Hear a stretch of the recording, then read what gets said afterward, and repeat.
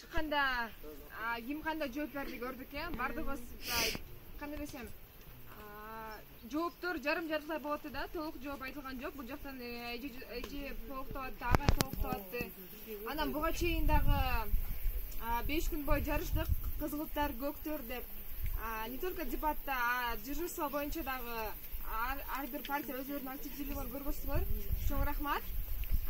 Антип эмесе Gente, оқиға дәріс ең бірінші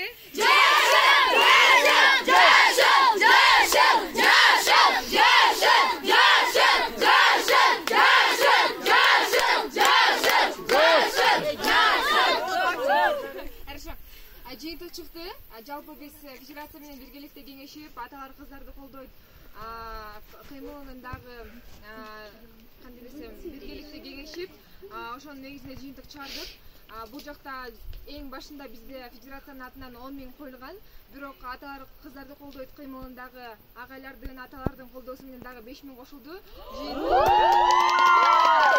Жыйынтыгында он беш миң сом болду. Байге анан ар бир партияга беш миңден